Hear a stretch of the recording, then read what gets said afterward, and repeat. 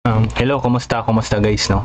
So, bali ang ang topic natin ngayon is kung paano nga ba mag-revoke no ng MetaMask. Kung paano mag-revoke, mag-revoke or i-cut yung connection no kung sakaling mapamali tayo or hindi natin trusted no yung website na nakapag-connect tayo ng website na ah, hindi natin gusto or wala tayong tiwala.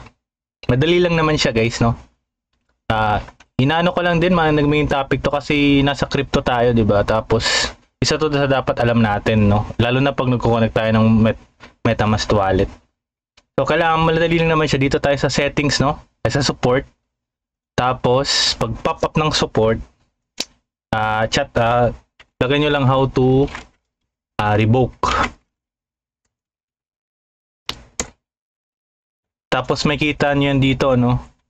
Ah, pwede nyo basahin nyo muna to para mas ah, mas maintindihan natin. Tapos meron ditong website, pili na lang kayo, no?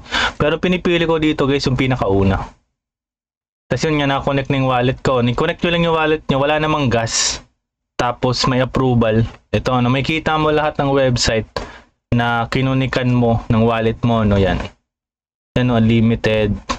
Pwede mong i-revoke yan, no? Lalo na piliin nyo lang, no? Kasi mara-recognize mo naman yung website na hindi ka nag-connect eh, no? Or example, nakapag-connect ka ng, alam mo yon may risk.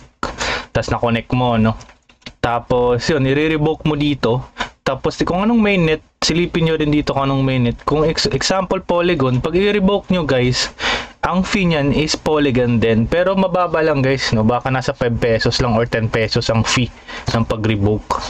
Ah, yun lang, pag ma-revoke nyo na, makakat nyo na yung connection, no?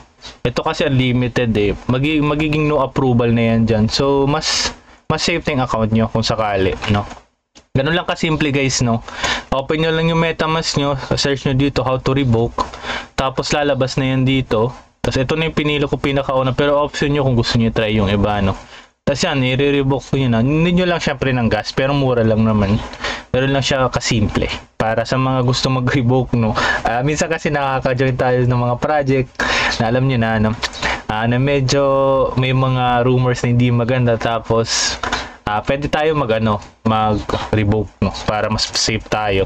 Or sig- siguro mas pinaka-safe is ah, lipat na lang natin yung asset no kung madali lang naman maglipat. 'Yun, 'yun lang siguro guys. So ingat tayo lahat no. Lalo na pa pabulran na ano, mad- hindi lang hindi lang ano, hindi lang yung yung crypto ang tumutoro no? Pati yung mga phishing site madami. Kaya mag-ingat tayo guys sa mga ano sa mga pag-link no? Syempre Ah, always check muna no? Always natin always check na muna kung magko-connect kayo no? Yun isa to sa mga importanteng dapat alam natin pag nasa crypto space tayo. Umabot kayo dito sa dulo. Maraming salamat. Ingat parati and God bless